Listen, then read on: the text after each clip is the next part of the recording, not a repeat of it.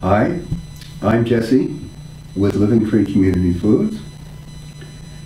And with the change of seasons and the harvest, we thought that we would make a seasonal green smoothie, something that amplified the fruits of the wonderful harvest here in California.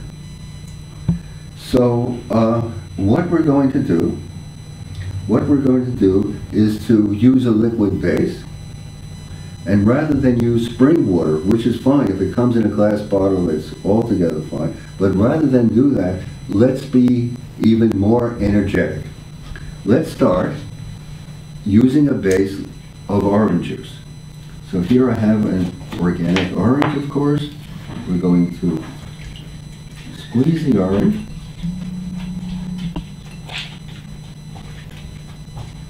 Okay. And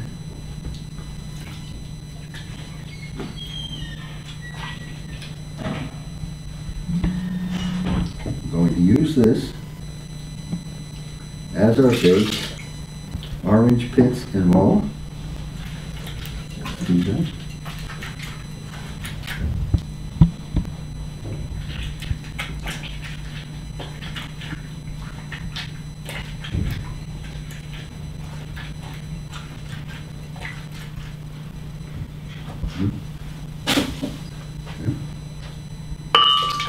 Okay, so that's the beginning. Next thing we're going to do is to take some Concord grapes. These grapes are simply magnificent. And we're going to add them. They're filled with a magnificent juice. So we'll add them to our green drink. Still preparing the liquid base.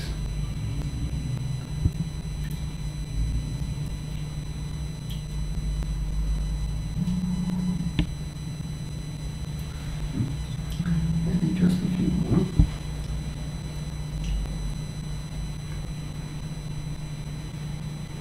Okay. And um,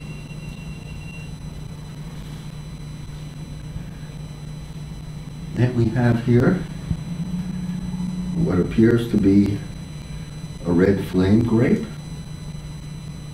also grown in the Central Valley about 50 miles east of us. We'll that too. And then we'll add some tomatoes. The tomatoes are at their peak right now. The market is flooded with them. And these are heirloom organic tomatoes. We'll add those.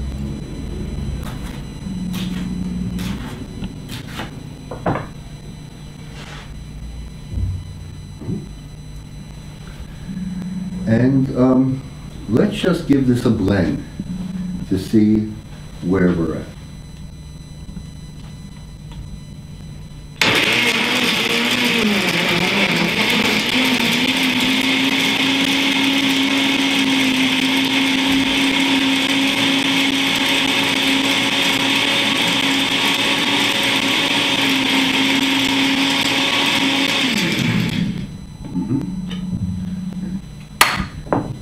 Doesn't that make a magnificent looking base for our smoothie? It's a magnificent reddish purple. Okay. Next, we want to add a pomegranate. Why not? Pomegranates have just appeared on the market. Isn't that a, a beautiful, rich color?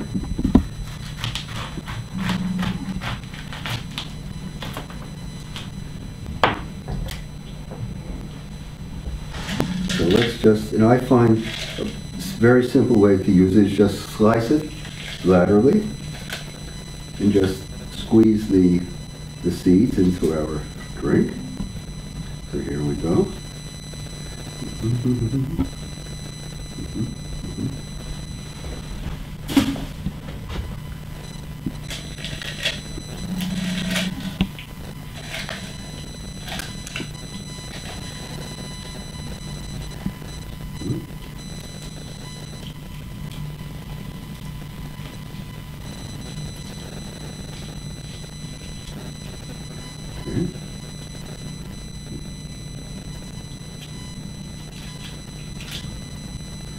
Pomegranates are just filled with an- antioxidants. We. And uh, let's add some more wonderful things. Let's add some okra. This is okra, also grown right here in this California wonderland, put using the whole uh, okra in its entirety. And then we want to we want to add um, let's add another okra. And then we want to add a cucumber. Okay, stop. We want to add a cucumber. So let's just uh, slice that up and put the cube in our mixture. And uh, then we're, go- we're going to add some ginger. Ginger is such a health-giving, health-giving vegetable. We'll use that, and we'll add a slice of ginger. And then we'll add some garlic, one clove. I happen to love garlic myself. Here we go, garlic. Okay. And now let's go ahead and blend all of this up.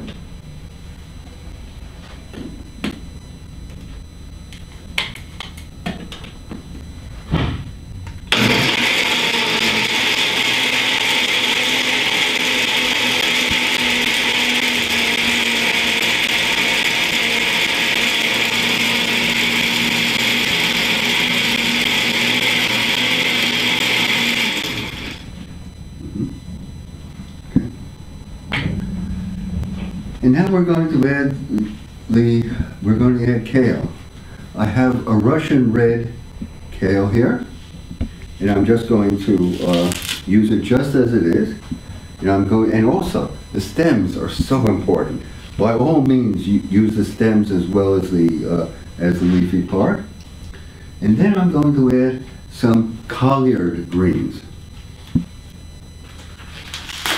Just harvested a day or two ago. I got these at the Berkeley Farmers Market right here.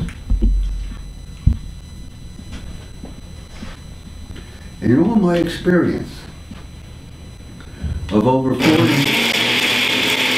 all my experience of over 40 years in the food industry, the most health-giving thing that you can do for yourself is to have a green smoothie for breakfast and for dinner also, well as well as other fruits and vegetables too.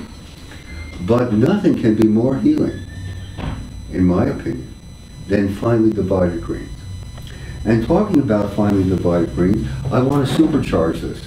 I want to supercharge this with some wheatgrass. So I'm going to take a clump of wheat, wheatgrass right now.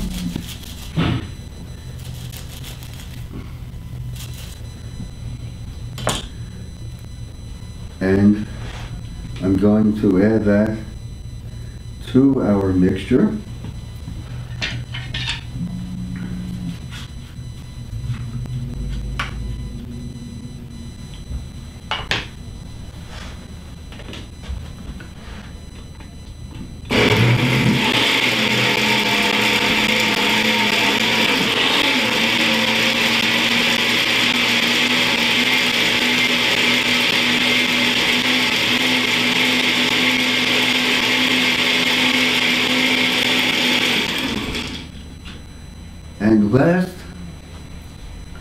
But not least, we're going to add some avocado for body and for wonderment. Here we have a avocado, also grown right here in California. We're Going to add that. And let's also add some Icelandic dulse flakes. And if you think about it, for those of you who do not want Fukushima in your food, these are from Iceland, separated by a, by a continent on one side and a continent on, uh, on the other side from the waters of Japan. So here we go. And now let's blend that up.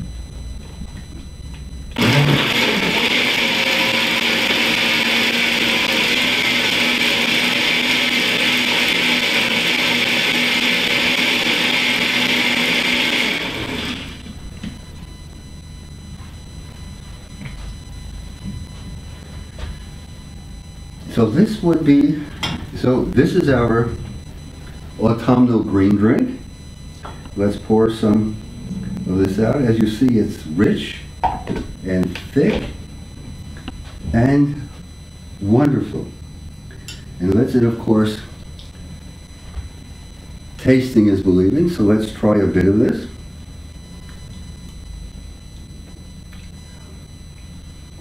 It's just filled with life forces. Here at Living Tree Community, we feel that there are three pillars of a live food diet. The first pillar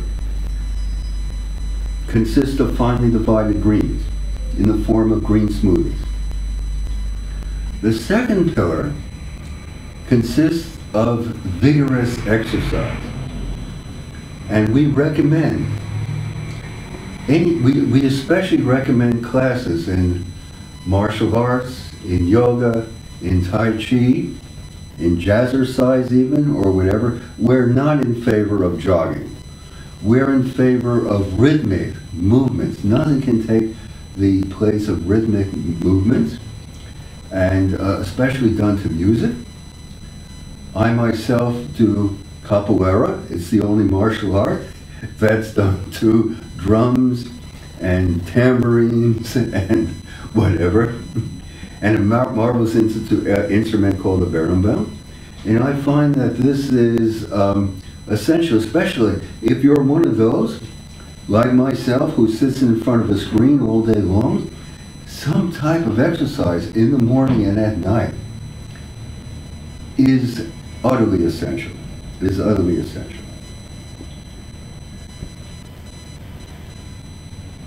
The third component or pillar of a live food diet consists of intermittent fasting. And this is a wonderful thing, and um, I've practiced this so much that I simply cannot do without this.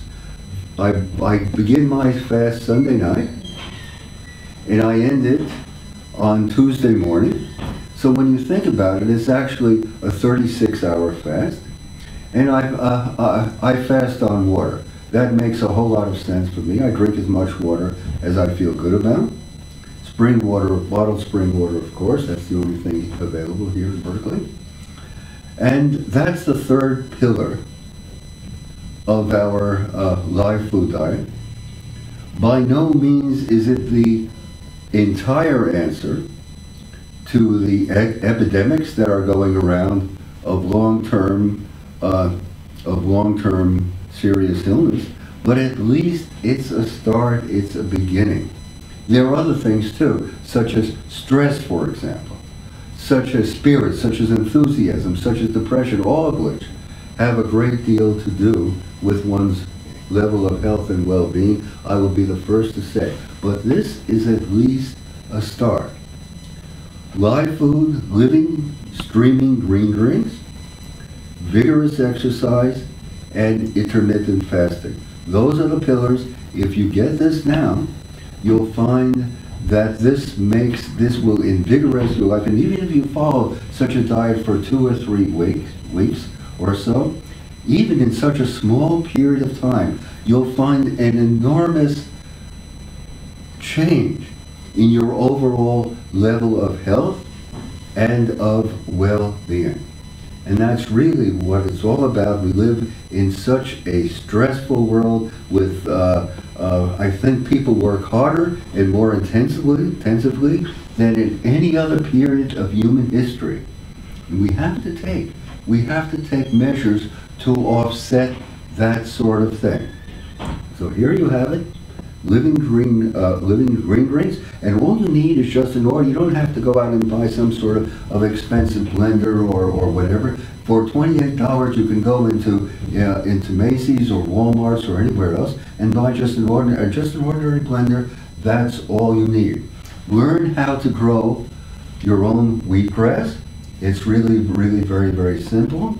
And patronize your farmers markets.